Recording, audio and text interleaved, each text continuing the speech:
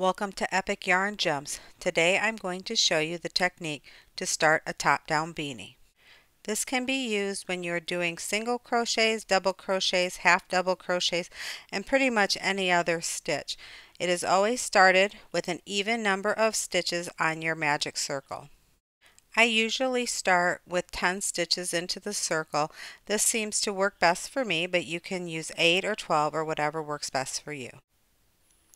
So we're going to start our magic circle by wrapping our yarn across our fingers and securing it with our ring finger, taking our hook and grabbing that back strand and pulling it under the front strand, giving it a little twist. By doing this, we're going to be making a circle, and there you see is the circle. And because I'm going to be using double crochets, I'm going to chain two to start the next thing that we're going to do is here's the circle. We're going to double crochet right into the center of that circle. So you're going to do 10 of these double crochets right into that middle.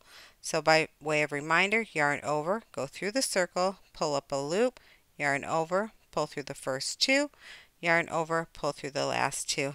And that is how you do a double crochet. And you're going to continue to do that until you have 10 through the middle of that circle. So I'm going to finish up my 10th stitch into the middle of the circle. And then what I like to do after I finish is to count to make sure that I have 10 otherwise you may have to rip the whole thing apart and start over. So it's always good to start with the right number of stitches.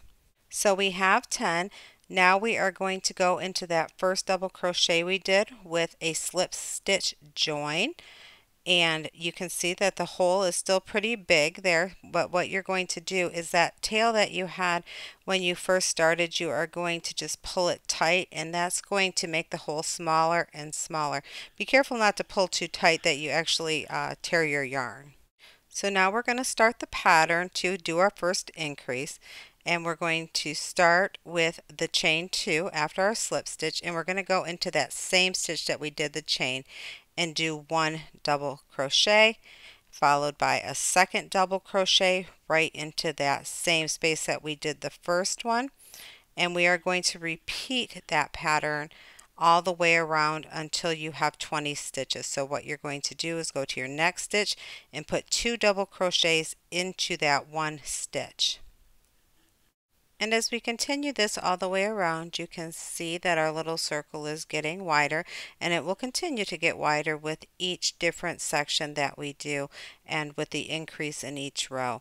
So as we finish up here, like I said, I do like to count to make sure that I have the correct number of stitches and in this round there should be 20 stitches. So once I have finished counting that and making sure it's correct, we are going to go on to the next, which we will do a slip join again with a chain two. But this time we're going to start a new pattern for the next row of increases. So uh, here's our slip stitch and then the chain two. We are going to do one double crochet in that same stitch that we did the chain two. Then we are going to do two double crochets in the next stitch. This will give us a total of 30 stitches once we go all the way around our circle. So as you can see, this is a pretty simple process on how to do it. It's just increasing each row. So here we are again. We will be doing that single crochet in the next stitch, followed by two double crochets in the stitch that follows that and you will just repeat that until you get to the end. And once we are at the end we are going to do a slip stitch join with the top of the double crochet in that row and we are going to do a chain two.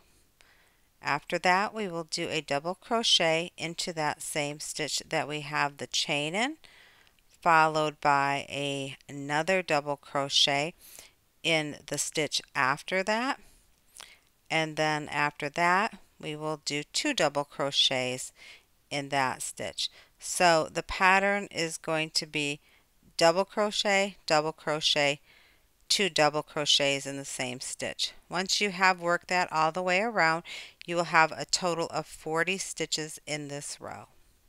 So we're going to be finishing up that last row with 40 and we are going to be putting our slip stitch join in the top of the double crochet from the previous row.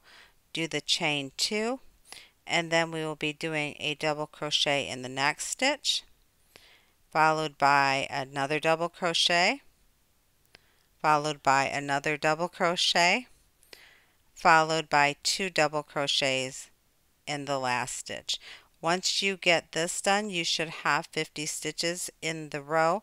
So again, just for your information, the pattern is double crochet, double crochet, double crochet, two double crochets in that stitch. Like I was telling you, once you get going, it's pretty easy. It's just keeping track of the pattern for each of the rows. Here we are on our last row we are going to start this row like we did the other rows with a slip stitch join and a chain two. We are going to put our first double crochet in that stitch that we did the chain two and the pattern for this row is in the first four stitches we are going to do a double crochet and then in the fifth stitch we are going to do two double crochets into that same stitch. When you're done you should have 60 stitches in this row. Now, if you're looking to do a larger or smaller hat, you will want to either stop in a previous row so that maybe you had 50 stitches or if you need a larger hat you may just want to continue to do these increases until you get to the size that you need. Another way to increase or decrease the diameter size of your hat is to use a larger hook or smaller hook. What I have used to do this is my H hook. So if I wanted a larger hook, I could go up to my I hook or if I wanted a smaller hat, I could go down to my E hook. So it's really just a matter of what you want to do and how you want your beanie to look. Here is our finished product. By using this technique, it does create a very straight seam. Also, depending on how loosely or tightly you do crochet, the diameter of your hat top could be different sizes.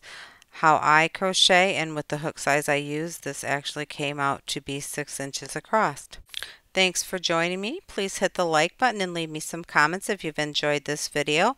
Also, if you'd like to see more, subscribe to my channel and turn on those notifications. Have a great day.